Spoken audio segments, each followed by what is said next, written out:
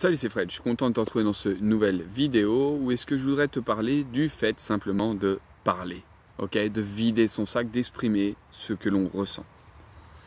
Donc, euh, comment est-ce que je vais te faire cette vidéo? Euh, Exprimer ce qu'on ressent, c'est quelque chose d'important.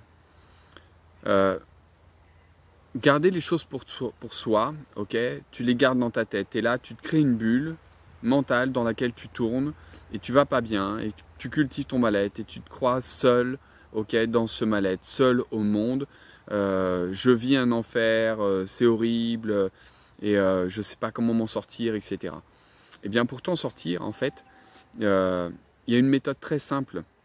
Moi je constate en tout cas cette simplicité dans mon métier quand j'accompagne des personnes, justement, quand des gens prennent contact avec moi, si tu veux déjà pour la première fois, juste au téléphone, pour prendre un rendez-vous, et que je leur pose quelques questions, qu'est-ce qui, se passe? Expliquez-moi pourquoi est-ce que vous voulez euh, qu'on se voit, euh, voilà, on discute un petit peu.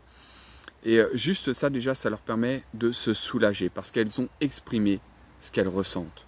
Elles ont extériorisé les choses. Elles ont sorti d'elles ce truc qui tourne en boucle dans leur tête. Tu vois, cette bulle, elles ont accepté de l'ouvrir ok, se créant un nouvel espace où est-ce qu'elles expriment ce qu'elles ressentent, ce qu'elles vivent. Et c'est déjà énorme. Je le vois après dans la suite des accompagnements, quand euh, ces personnes viennent à s'exprimer justement au, fil des, euh, au fil des séances, on va plus en plus au cœur des choses. Et, euh, et le fait de s'exprimer est vraiment libérateur. Et de cette manière-là, en fait, quand tu parles, tu t'écoutes, et tu peux prendre conscience comme ça de choses auxquelles le, avec lesquelles euh, qui peuvent te permettre d'aller mieux en fait. Tout simplement parce que tant que tu tournes en boucle dans ton bocal comme ça, ok, dans ta bulle, tu tournes les choses dans tous les sens et ça va pas, ok. Mais le fait de le sortir, de l'exprimer auprès de quelqu'un, tu peux avoir justement des déclics, ok, prendre conscience de ce que tu es en train de dire et ça c'est hyper libérateur, ça fait vachement bien. Donc, je t'invite vraiment à exprimer ce que tu ressens. Y compris euh, dans les couples.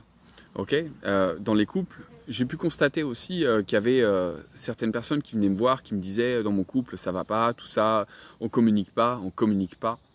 Voilà. Et, et ça va pas, c'est la merde. Chacun en fait va dans son coin, vider son sac à quelqu'un, auprès de quelqu'un, tu vois, un ami, voilà, j'exprime ce que je ressens. Mais après, ensuite, euh, quand ils se retrouvent ensemble, bah, du coup, il euh, n'y a rien de réglé puisqu'ils ne communiquent pas ensemble. Donc, euh, ce que je t'invite à faire, s'il y a des choses justement dans ton couple qui ne vont pas, que ça manque de communication, eh bien, crée cette communication. N'attends pas que ça vienne de l'autre. Crée-le. Tu es le créateur de ta vie. Donc, sois celui qui crée justement cette communication. Si tu constates, si tu as cette conscience que ça manque de communication, eh bien alors communique.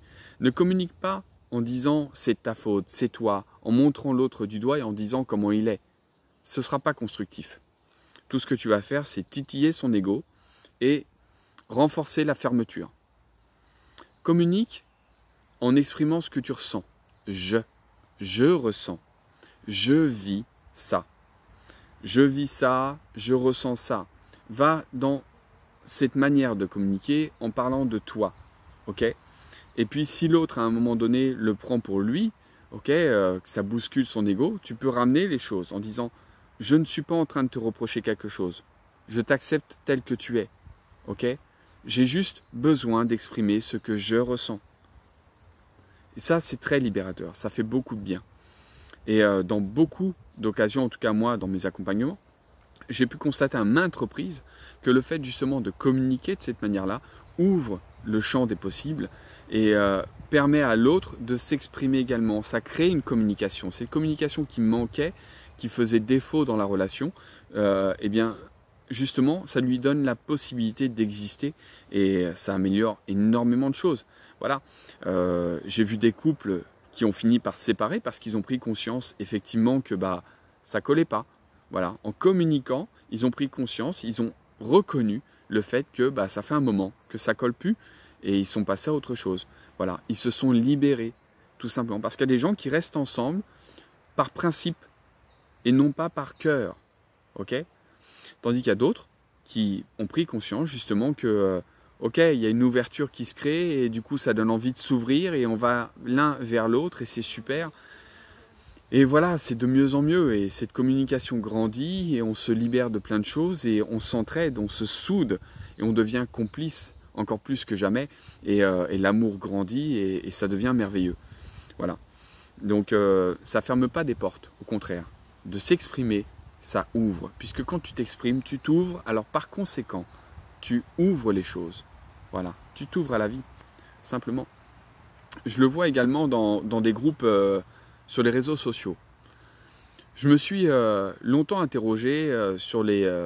quand je me suis inscrit sur Facebook, si tu veux, pour commencer justement à, proposer mes services sur, Internet, je me suis rendu compte qu'au début, je me suis inscrit sur des, groupes euh, liés à la dépression, au burn-out, voilà, tout ce qui était bad trip, ok? J'ai vu qu'il y avait des groupes comme ça, donc je me suis dit, bah super, je vais aller sur ces groupes-là et je vais leur dire, bah hey, si tu veux, je te propose une solution, je te propose de l'aide, voilà. Et pour moi, c'était évident de fonctionner comme ça. Et puis, je me suis fait très vite rejeter de ces groupes. Finalement, j'ai intégré des groupes qui parlent de la même chose que moi, de l'ouverture. Mais ce qui est intéressant, c'est que je me suis rendu compte, j'ai voulu savoir pourquoi est-ce que j'avais été rejeté. Et en fait, je me suis rendu compte que ces groupes liés à la dépression, au burn-out et tout ça, euh, il y a des personnes donc, qui s'inscrivent à ça pour parler de ce qu'ils ressentent. Et c'est juste ce dont ils ont besoin. Certains expriment ce qu'ils ressentent là-dedans pour tourner en boucle dans leur bocal, c'est leur choix, jusqu'à peut-être à un moment donné ouvrir les yeux sur quelque chose d'autre c'est une chose. Mais d'autres, ils vont aussi euh, de manière libératrice, parce qu'ils n'ont personne à qui parler, ils sont seuls, et, euh, donc eh ils ont besoin de communiquer justement ce qu'ils ressentent. Et ils vont sur ce genre de groupe pour s'exprimer justement tout ce qu'ils ressentent et se rendre compte, constater qu'ils ne sont pas seuls. Parce que d'exprimer ce que tu ressens peut te permettre aussi, c'est très important, de te rendre compte que tu n'es pas seul en fait. Quand tu tournes ton truc dans ton bocal, tu es là dans ta bulle en train de faire tes films et tout ça, tu dis je suis seul au monde, c'est la fin du monde, c'est l'apocalypse, je suis dans la merde, c'est une catastrophe. Mais euh, quand tu t'ouvres aux choses, quand tu t'exprimes, eh bien tu peux prendre conscience justement que non, t'es pas seul. Et ça, c'est rassurant.